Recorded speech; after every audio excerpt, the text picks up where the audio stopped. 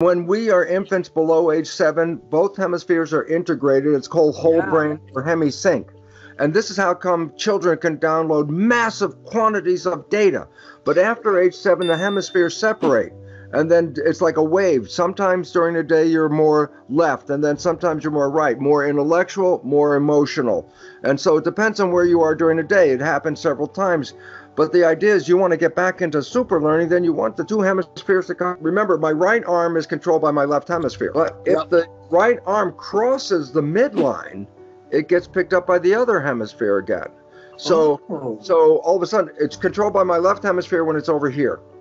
But if it crosses the midline, now it's controlled still by my left hemisphere because that's where the muscles are controlled, but it's working in harmony with the right hemisphere, which is observing this part of the field. very so when you cross your arms and, and you hold them like this, okay? And uh, here's another part because the arms and legs are both the same thing in this regard. yeah, And this, if you understand it, this is why when you see people relax unconsciously, if they're sitting in a chair and relaxing, there's a tendency to cross their ankles. To wow, Uh, wow. Just watch them. It's just that it's a natural thing. I say why?